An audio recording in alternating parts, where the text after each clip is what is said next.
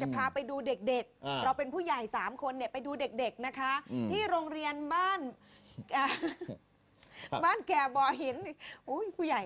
บ้านแก่บ่อหินนะคะ ขอไปบ้านป่าแก่บ่อหินนะคะอำเภอทุ่งว่าจังหวัดสตูล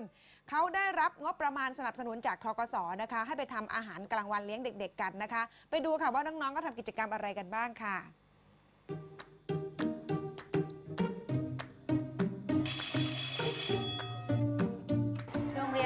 แก่เบาหิน เริ่มก่อตั้งเมื่อวันที่ 1 มิถุนายน 2524จำนวนนักเรียนโรงเรียนบ้านป่าแก่เบาหิน ปัจจุบันมีทั้งหมด 157 คน ข้าราชการครูและบุคลากรทางการศึกษาจำนวน 12 คนทกศเล็งเห็นเลยว่านักเรียนเนี่ยเป็นอนาคตของชาติ และทกศก็เป็นส่วนถึงที่ตามสโลแกนทกศว่าธนาคารเพื่อการเกษตรและสหกรณ์การเกษตร ที่เป็นมากกว่าธนาคาร ทกศก็มาสนับสนุนในเรื่องทุนอาหารกลางวันให้กับนักเรียน เราสนับสนุน50,000บาทไม่ไม่ได้ให้เป็นเงินมาเพื่อซื้ออาหารกลางวัน แต่ให้มาซื้อไก่สร้างโรงเรือนเลี้ยงไก่ขุดบ่อเลี้ยงปลา และก็ทำเพาะผักเพื่อลดต้นทุนและก็ได้กินตลอดไปนี่ครับบวบประสาทพิษของโรงเรียนบ้านปากเกบอยินครับ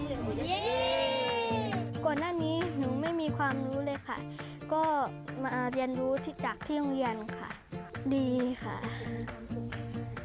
มีความสุขค่ะที่ได้กินผักที่ปลอดภัยแล้วก็ที่ปลูกเองค่ะมีหน้าที่รดน้ำผัก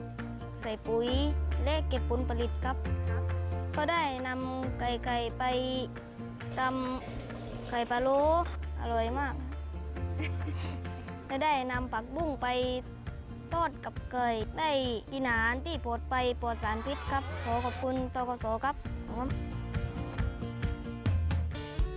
จากที่โรงเรียนได้รับการสนับสนุนจากธนาคารเพื่อการเกษตรและสหกรณ์การเกษตร เราจะเห็นความเปลี่ยนแปลงของนักเรียนรู้จักความรับผิดชอบ และก็ได้แบ่งหน้าที่ในการทำกิจกรรมตามฐานการเรียนรู้ต่างๆ มีความสามัคคี มีความเสียสละ ได้ได้ช่วยเหลือกัน ค่ะจากพืชผลทางการเกษตรของโรงเรียนบ้านป่าแก่บ่อหินจังหวัดสตูลแห่งนี้นะคะ ซึ่งทกสได้เข้ามาสนับสนุนทั้งงบประมาณและองค์ความรู้ ในการทำการเกษตรเพื่อโครงการอาหารกลางวันค่ะ ปัจจุบันโครงการอาหารกลางวันของที่นี่ การทำการเกษตรของที่นี่ ยังได้ต่อยอดไปยังชุมชน มีการปลูกพืชเลี้ยงสัตว์สร้างรายได้ลดรายจ่ายอีกหลายครัวเรือนค่ะ หลังจากตกสเข้ามาสนับสนุนโครงการให้กับโรงเรียน ก็ชุมชนก็ได้ประโยชน์ที่ได้รับร่วมกัน กระจายสู่ครัวเรือนของนักเรียน จากที่นักเรียนกลับมาที่บ้าน แล้วก็บอกผู้ปกครองให้ให้ชุมชนเกิด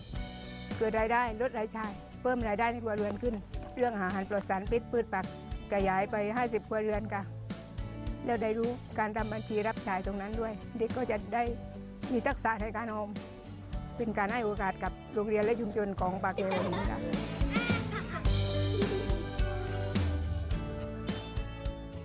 นี่คือครูก้อย ลูกสาวชาวสวนผลไม้ เป้าหมายของเธอ คือสวนผักออร์แกนิก เธอลงมือทำพร้อมกับพี่ทกสใช้องค์ความรู้ใหม่ๆ เทคโนโลยีใหม่ๆ สร้างแบรนด์ทำการตลาด สร้างชุมชน ให้เข้มแข็ง ผักทุกต้น เธอปลูกด้วยหัวใจ เพื่อให้คนไทยมีสุขภาพดี